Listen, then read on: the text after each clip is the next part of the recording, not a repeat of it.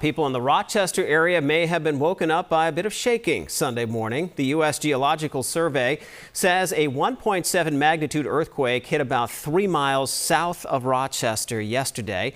There are no reports of any damage. Uh, you may recall earlier this month, another small earthquake rattled the Canterbury area.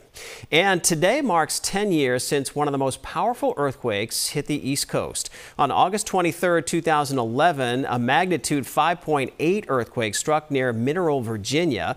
It was felt as far north as Canada, as far south as Florida, and as far west as Arkansas. No deaths or major injuries were reported, but the quake did, did cause $300 million in damage. The Washington Monument, remember this, had to close for repairs for three years because of the cracks, and the Washington National Cathedral is still being repaired as a result of that.